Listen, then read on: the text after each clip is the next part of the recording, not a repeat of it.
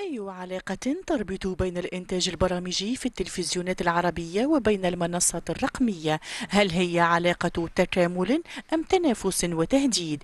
أسئلة وجدل أثاره خبراء ومهنيون في قطاع الإعلام من عديد الهيئات العربية خلال ندوة صحفية نظمها اتحاد إذاعات الدول العربية. العلاقة هذه فيها العديد من المزايا ومن الفرص التي تقدمها المنصات للتلفزيون وليس للتلفزيون فحسب بل أيضا للجمهور وللإنتاج في حد ذاته والمضامين لكن في المقابل العلاقة هذه فعلا تطرح العديد من التحديات أمام التلفزيون وتطرح العديد من المشاكل وهي أيضا تعمق العديد من المشاكل التي موجودة هي موجودة قبل المنصات لكن المنصات تعمقها.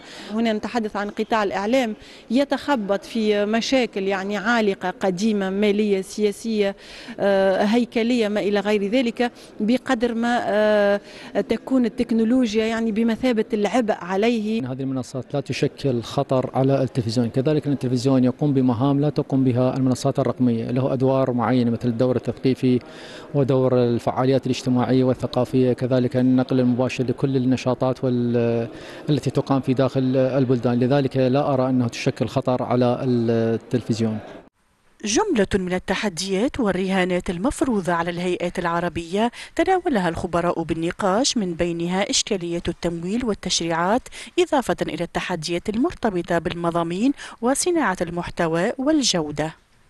تحدي المضمون وتحدي المحتوى من أكبر هذه التحديات لأنه التكنولوجيا هي موجودة وقائمة التكنولوجيا تتطور من يوم إلى آخر ونحن مجبرون على مواكبة هذا التطور. اليوم بالذكاء الاصطناعي يعني أصبح مطالبين بأن نشتغل أكثر وأكثر على تجويد المحتوى على آه، أن يكون هذا المحتوى مطابق لتطلعات الجمهور لأنه ما عادش هو جمهور متلقي هو جمهور متفاعل هو جمهور عنده رأي جمهور يطلب أشياء محددة لا يمكن أن نغفل عنها. عنها وقد خلصت نقاشات المشاركين إلى ضرورة زيادة وتيرة الإنتاج العربي المشترك وتنويع المحتوى بما يمكن من الاستفادة الكاملة من المنصات الرقمية.